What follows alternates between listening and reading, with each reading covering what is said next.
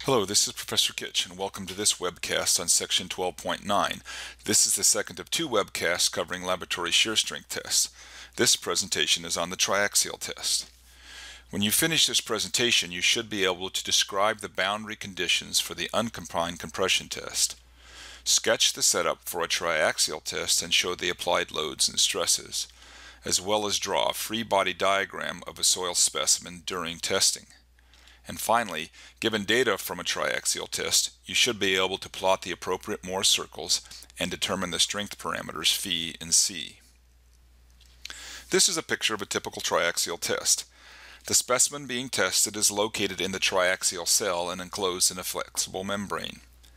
The triaxial cell is placed in a load frame. The purpose of the load frame is to apply a vertical load to the specimen. This load is measured by a load cell located near the top of the load frame. Tubing connects the cell to pressure and volume control modules, which are used to regulate and measure the pressure within the cell as well as control the drainage of pore fluid out of the specimen. A computer data acquisition system controls the test and records the data. Now let's take a closer look at the triaxial cell itself.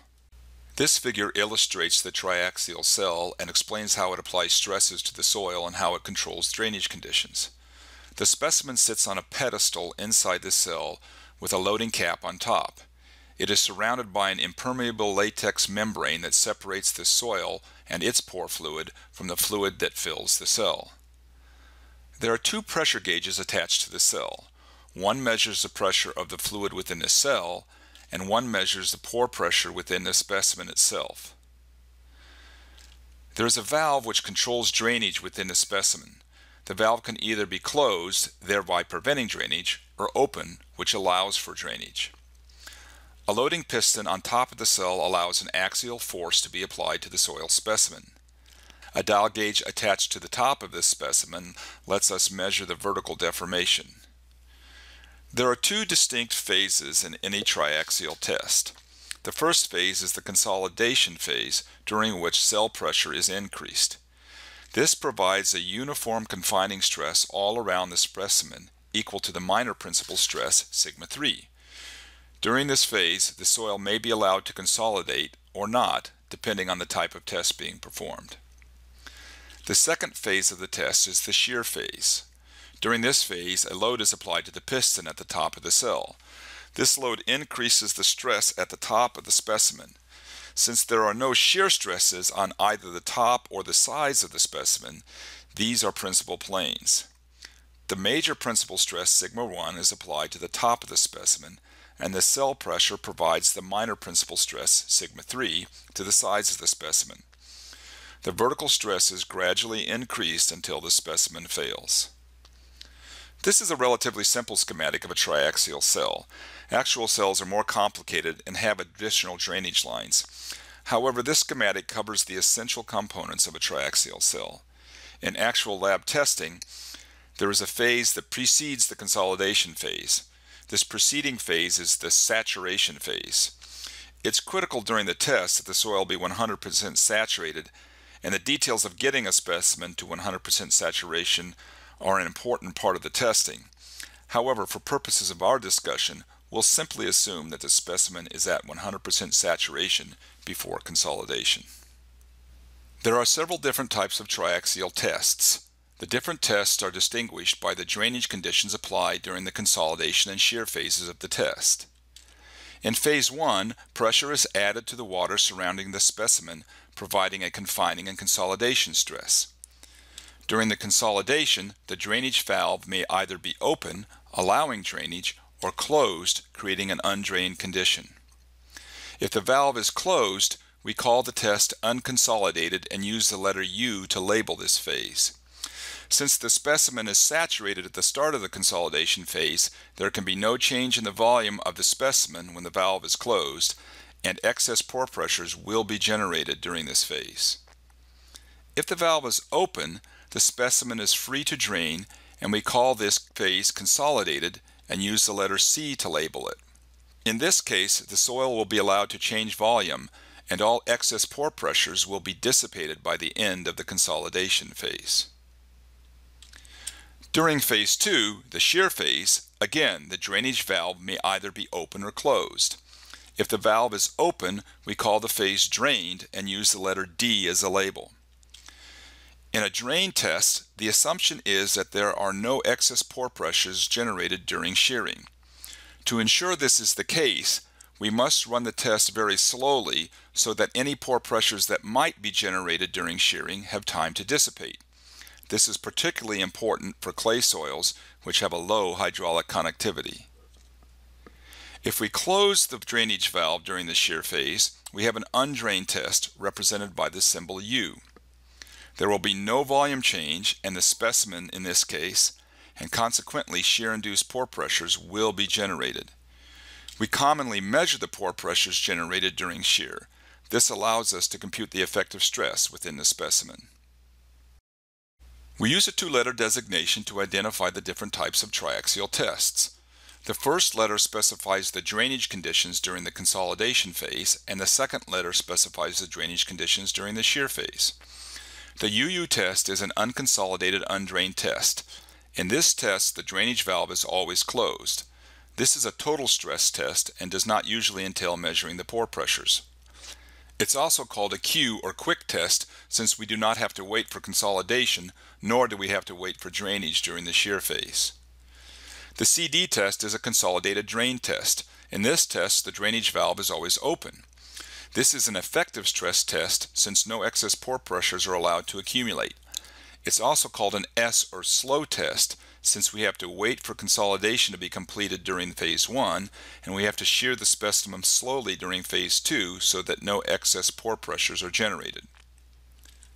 The CU test is a consolidated undrained test. In this test, the drainage valve is open during consolidation but closed during shear. It's also called an R test, presumably because it's faster than an S test but slower than a Q test. During shear, we normally measure the pore pressures generated. This allows us to compute both the total and effective stresses during shear. Finally, we sometimes perform an unconfined compression test on cohesive soils. Strictly speaking, this test is not a triaxial test. It's not performed in a triaxial cell. It's a simple compression test without any consolidation or any confining pressure. It's similar to an unconfined compression test on a concrete cylinder. Since the test is not performed in a triaxial cell, we have no control over the drainage conditions. In this test, we shear the soil very quickly and assume that there's no drainage. This test is equivalent to a UU test with sigma 3 equal to 0. In the next part of this webcast, we will examine the stress paths followed in each of the four tests we just discussed. In each case, we'll present a schematic of the specimen on the left side showing the boundary conditions and the applied stress. On the right, we'll draw the Mohr circles for the tests, plot the failure envelope, and determine the strength parameters phi and c. In the unconfined compression test, a vertical stress is applied to the soil without any lateral confining stress. That is, the minor principal stress sigma 3 is equal to 0. Therefore, the Mohr circle for this test are all tangent to the tau axis. The vertical stress is then increased until the soil fails. At failure, the maximum principal stress is denoted sigma 1f, or simply called sigma 1 at failure. This is a total stress test. We have no measure of the pore pressures, and we cannot determine the effective stresses in the soil. The peak shear stress at failure is a measure of the undrained strength, SU.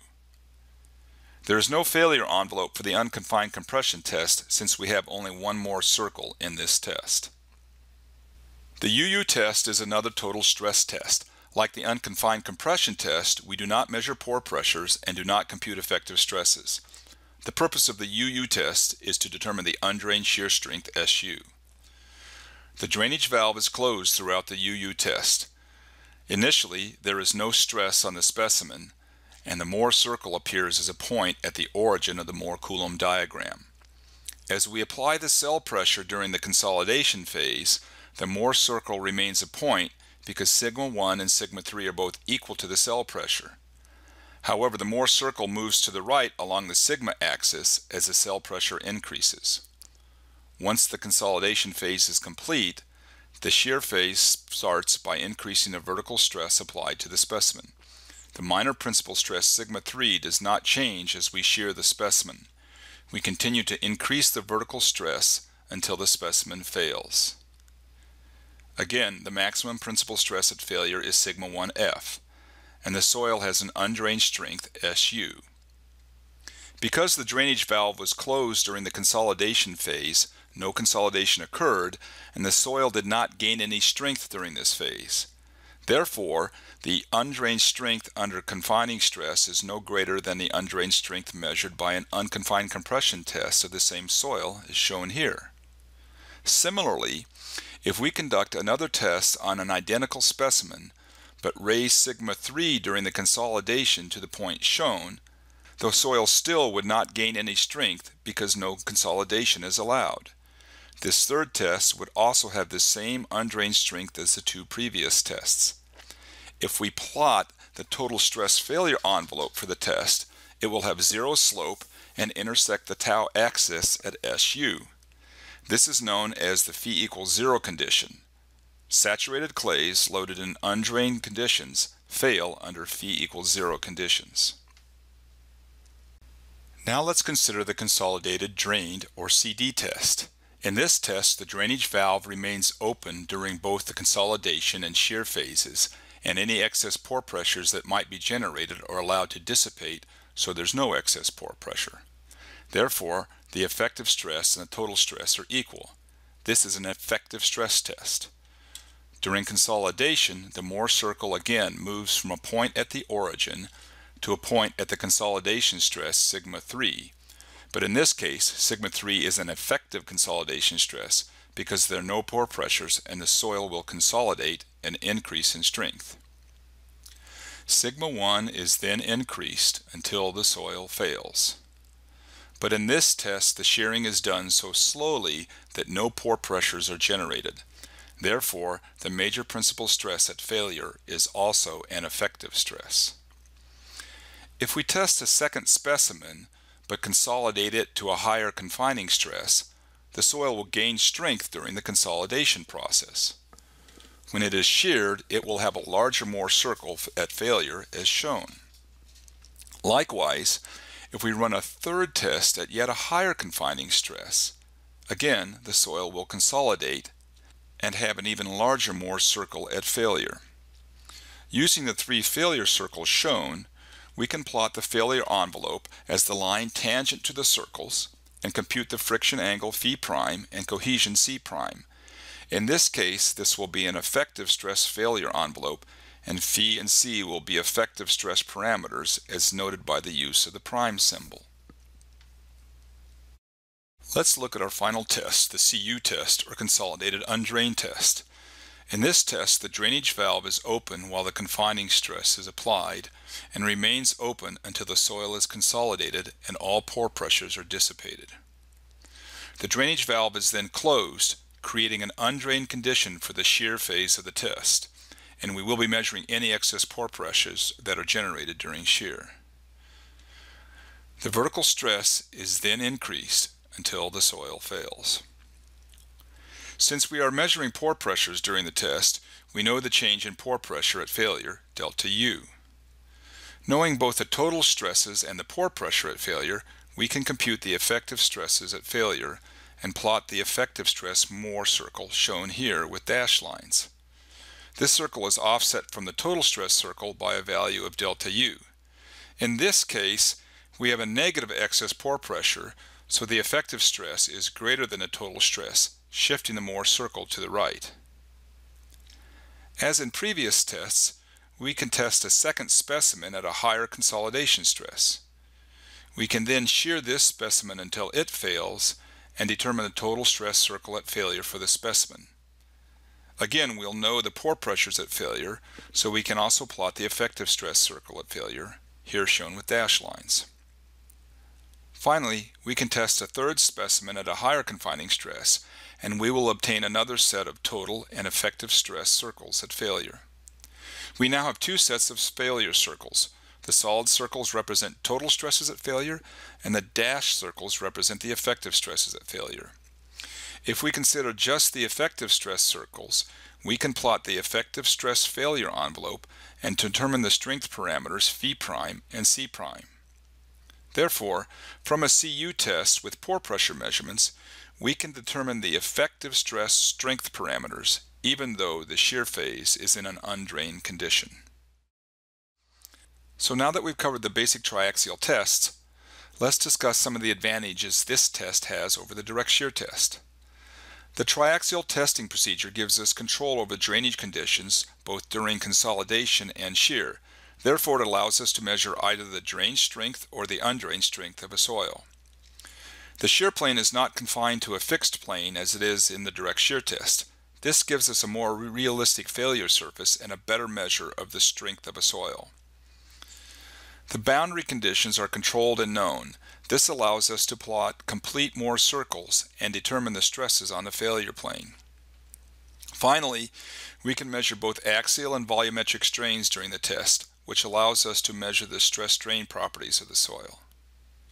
So let's summarize. The triaxial test has the following characteristics. The test is relatively difficult and time consuming to run with the exception of the UU test, which can be run very quickly. However, both the CD and CU tests must be run very slowly so that shear-induced pore pressures can dissipate or equilibrate throughout the specimen. The data is more difficult to analyze than the direct shear data, but at the same time we get much better information from these tests. Finally, the strength parameters measured in the triaxial test are more accurate than those measured in the direct shear test. You should now review the learning objectives for this presentation. If you don't feel you've achieved these objectives, now would be a good time to review the presentation. Example 1210 in your text presents data from a CU test. You should review this example before class.